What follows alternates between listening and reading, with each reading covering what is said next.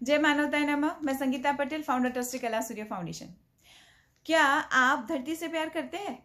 Yes then prove it हम हर रोज milk लेके आते हैं बटर मिल्क लेके आते हैं, या छोटी छोटी कोई भी चीज़ पैकिंग में लेके आते हैं। इस तरह से कोई भी पैकिंग में लेके आते हैं। फिर हम उसे क्या करते हैं? काटते हैं। कैसे काटते हैं? जैसे छोटा टुकड़ा काटते हैं, और वो छोटा टुकड़ा जैसे हमने ऐसे काटा तो ये छोटा टुकड़ा कहीं भी गिरेगा तो ये रिसाइकल के लिए किसी के हाथ में नहीं आएगा। ये कचरा लेने वाले जब आते हैं तो वो ऐसे प्लास्टिक की बॉटल्स है या प्लास्टिक की कोई भी चीज़ें होती है, उसको उठा के रिसाइकलिंग के लिए देते हैं तो उनको उसके पैसे मिलते हैं। तो अगर हम इसे ध्यान से इसके साथ चिपका रहने देंगे तो ये रिसाइकल के लिए पूरा का पूरा प्रोडक्ट जाएगा।